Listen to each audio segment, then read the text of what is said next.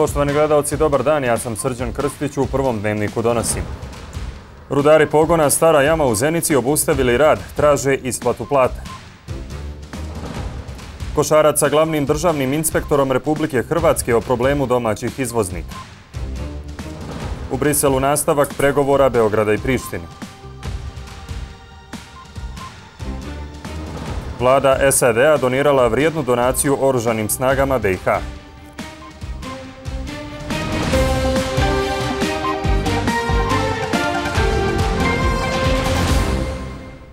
Rudari iz pogona Stara jama rudnika Mrkog uglja Zenica jutro su ispred ulaza u preduzeće održali protest jer u petak nisu dobili platu. Obustavili su proizvodnju te od subote odbijaju silazak u jamu.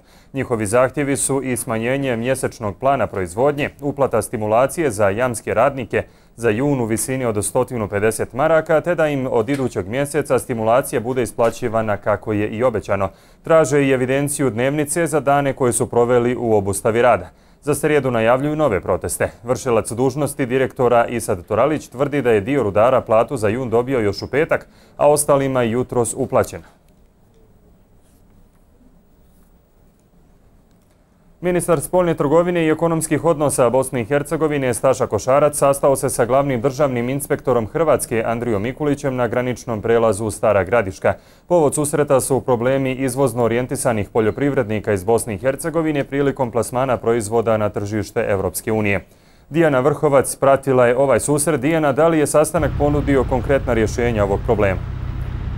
Ministar spoljne trgovine i ekonomskih odnosa Bosne i Hercegovine Staša Košarac razgovarao je na graničnom prelazu Stara Gradiška sa glavnim državnim inspektorom Hrvatske Andrijom Mikulićem vezano e, za probleme izvoznika u Bosni i Hercegovini.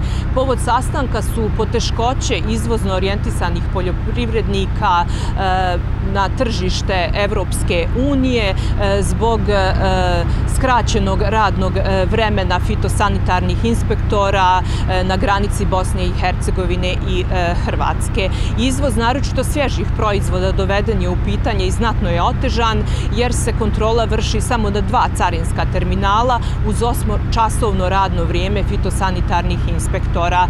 Na sastanku je e, dogovoreno da će fitosanitarni inspektori Hrvatske nastojati da prekontrolišu svu robu koja je prijavljena za taj dan.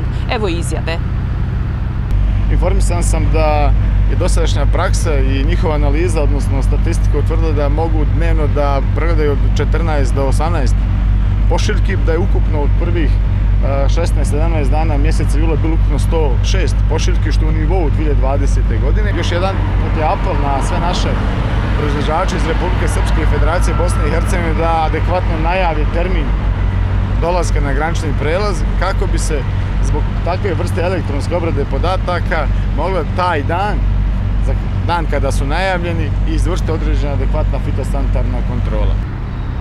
Ukoliko dakle bude puno zahtjeva e, za kontrolu, e, razmotrit će se produženje e, radnog vremena fitosanitarnih inspektora. Podsjetimo da je Hrvatska bila spremna da ubrza taj proces, da izvoznici podnesu digitalnu prijavu za svaku pošiljku. Međutim, problem je što državni parlament nije usvojio zakon o carinskim prekršajima Bosne i Hercegovine koji je preduslov za digitalnu prijavu robe. Toliko iz Gradiške.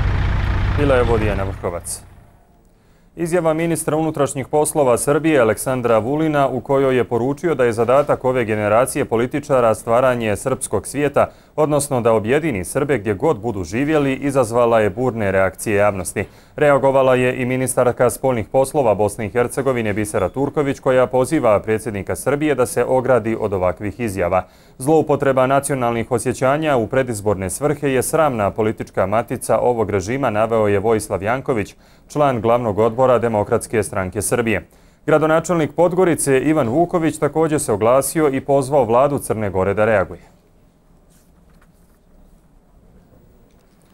A predsjednik Srbije Aleksandar Vučić sastaće se danas sa premijerom Kosova Albinom Kurtijem u Briselu povodom nastavka dijaloga Beograda i Prištine uz posredovanje Evropske unije. U oči ovog sastanka iz Brisela su poručili da se Vučić i Kurti fokusiraju na napredak učinjen do sada i da se dogovore oko sljedećih koraka u dijalogu. Analitičari međutim smatraju da neće doći do nikakvih značajnih pomaka u odnosima dvije zemlje budući da su stavovi sa kojima sagovornici nastupaju suprotni.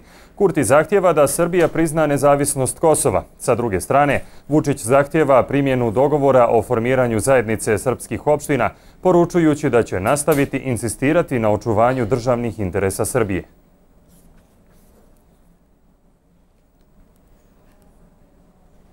U protekla 24 časa u kantonu Sarajevu su potvrđena četiri nova slučaja zaraze koronavirusom od testiranih 316 osoba. Od COVID-19 oporavilo se 7 osoba i nije bilo preminulih. U Republici Srpskoj u protekla 24 časa nema novozaraženih, dok je jedna osoba preminula od posljedica zaraze. U Tuzlanskom kantonu izolovana su četiri pacijenta sa delta soje. Riječ je o porodičnom klasteru i niko nema težu kliničku sliku. Od početka pandemije koronavirusa u svijetu je zabilježeno više od 191 miliona zaraženih, a 4 miliona i 106 hiljada je preminulo. Velika Britanija bilježi hiljade novoboljelih. Uprkos tome, epidemioloških mjera gotovo da nema. U Australiji zbog širanja virusa do 30. jula na snazi su sve epidemiološke mjere. Vlasti Australije su produžile ranije uvedene epidemiološke mjere. Pandemijom je najpogođenija država Novi Južni Vels i njen glavni grad Sidney, gdje je prijavljeno skoro stotinu novih slučajeva, tako da ovaj dio zemlje ostaje do 30. jula u lockdownu. Uh, Nakon porodičnih kontakata, drugi najveći prenos virusa je zabilježen na radnim mjestima. Zbog toga smo od kompanije zatražili da ukinu tu praksu do 30. jula, jer nažalost virus se ne širi samo na radne kolege, već se potencijalno može prenijeti na zajednice, jer se ljudi iz različitih područja okupljaju na radnom mjestu. I dok se u brojnim državama vodi bitka protiv koronavirusa, a posebno protiv delta soja, za to vrijeme London se vraća u život prije pandemije. Stadioni i velike sale za predstave su otvoreni u punom kapacitetu, kao i diskoteke, a nema više ni ograničenja u ugostiteljskim objektima i pubovima. Ljudi su zaista za malo oduška i da imaju normalnu komunikaciju bez postavljanja pravila o držanju distance. S druge strane, moramo biti i dalje oprezni jer se dnevno bilježi veliki broj novozaraženih. Dva dana za redom u Velikoj Britaniji zabilježeno je više od 50.000 novozaraženih. Ministar zdravlja je također zaražen i nalazi se u samoizolaciji, a premijer Boris Johnson pozvao je na oprez.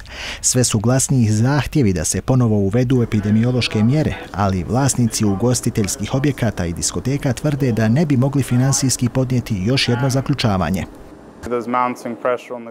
Sve je veći pritisak na vladu da zadrži ograničenja ili uđe u zaključavanje. To bi za nas bilo poražavajuće i bilo bi to još jedan udarac. Uložili smo puno novca kako bismo pokrenuli posao. Puno ulažemo u COVID mjere, obučavamo osoblje i to bi značilo da nas ponovno zatvaraju nakon što su nam nedavno dopustili rad.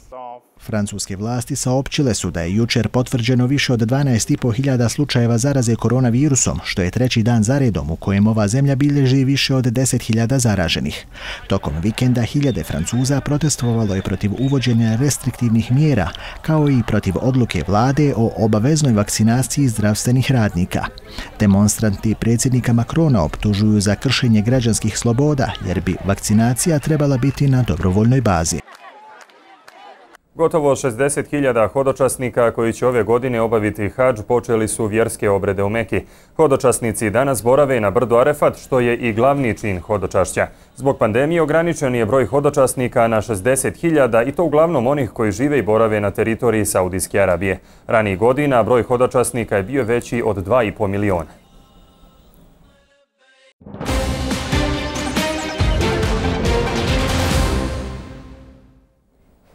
U kasarni Rajlovac u Sarajevu upriličena je primopredaja 21. višenamjenskog motornog vozila koje je vlada SAD-a donirala oružanim snagama Bosne i Hercegovine. Primopredaji su prisustovali ministar odbrane Sifet Podžić, njegovi zamjenici Mirko Okolić i Mio Krešić, predstavnici oružanih snaga te delegacije ambasade Sjedinjenih američkih država u Bosni i Hercegovini predvođena ambasadorom Erikom Nelsonom. Izvedena je i pokazna vježba uz upotrebu ovih vozila. Milorad Dodik još danas je predsjedavajući predsjedništva Bosne i Hercegovine, a od sutra ga nasljeđuje Željko Komšić. Kako je saopšteno iz predsjedništva, predsjedavajući ove institucije od 20. jula 2021. godine je po načelu rotacije član predsjedništva BiH iz reda Hrvatskog naroda Željko Komšić. Ova rotacija se odvija na osnovu Ustava Bosne i Hercegovine poslovnika o radu predsjedništva BiH.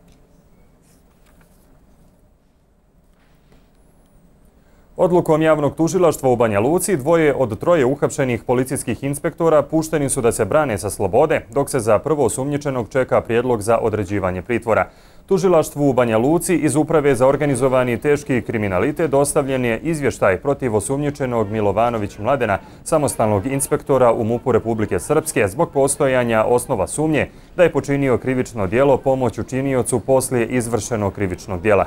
Podsjetimo, u akciji policije u Banja Luci uhapšen je pripadnik takozvanog škaljarskog klana Miloš Božović, kojeg sumnječe za ubistvo i druga krivična dijela. Juče su također uhapšeni inspektor Predrag Vatreš i inspektorka Gorana Rečević zbog postojanja osnova sumnje da su počinili krivično dijelo pomoć učiniocu poslije izvršenog krivičnog dijela. Oni su nakon obavljene kriminalističke obrade pušteni i u nastavku krivičnog postupka branit će se sa slobode.